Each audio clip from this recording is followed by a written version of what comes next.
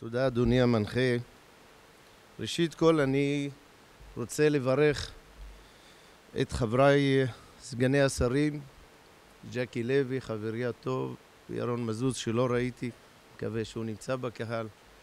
ראשי הערים כמובן, שנמצאים כאן בראשם של עיר הבירה של הצפון, חברי הטוב יונה יהב. אני שמח שאני עובר כאן כמעט יום יום ואני רואה את הבנייה, ובמיוחד כאן באזור הזה, אזור מחנה דוד, אני רואה דברים חדשים, מאוד חשובים. חיפה הייתה היסטורית אחת הערים החשובות, וגם עכשיו. אבל היה תקופה שבעצם שום דבר לא זז בצפון ללא חיפה.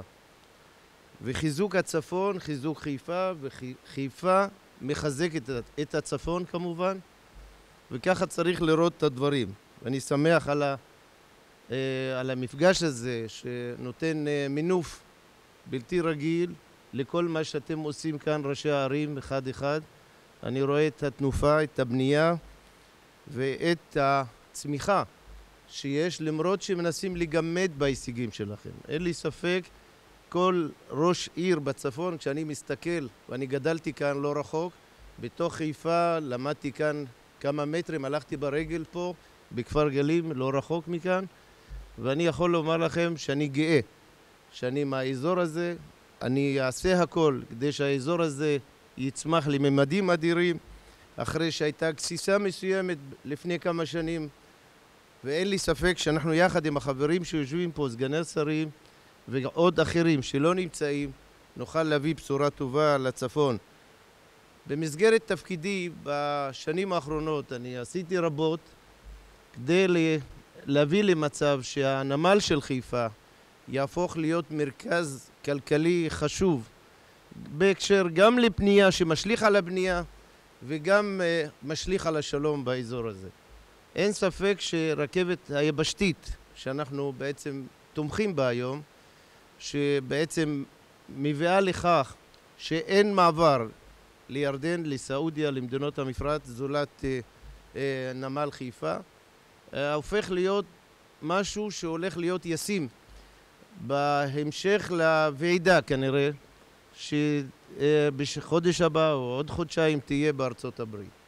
מה שדיברנו כחלום, כשאני התחלתי לדבר על זה, הולך להיות הלכה למעשה ופה, כאן בחיפה ובצפון כנראה שזה יהיה הכיוון להתחבר כלכלית אולי הכי הרבה עם כל מה שקרוי הקואליציה הסעודית כל מה שקרוי המחנה הסוני למול אויבינו מאיראן, חיזבאללה ואחרים. אני חושב שזה מתבקש, אנחנו בכיוון הנכון.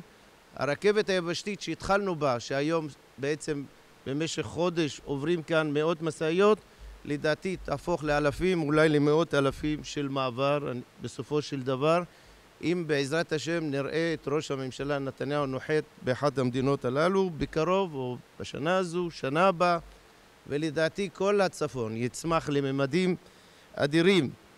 התחנכתי כאן כמו שאמרתי וזה חשוב, חשוב מאוד לי לראות כל עיר שבעצם אין עיר כאן באזור שלא היה, למדו איתי אנשים מתוכה או תושבים של אותה עיר ולכן הצמיחה הכלכלית היא מתבקשת.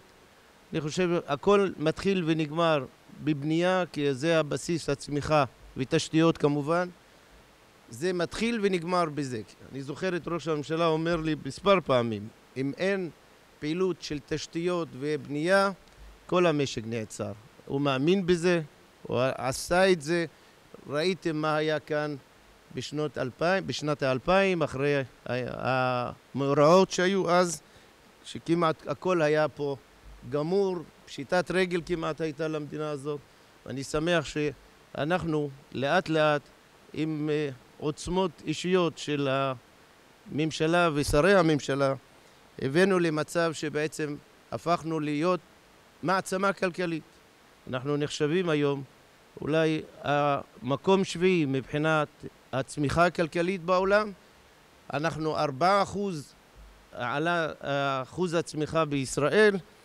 את ראש הממשלה בישיבת הממשלה האחרונה יחד עם השר כחלון אמרו שאנחנו רוצים להגיע לחמישה אחוז עוד השנה.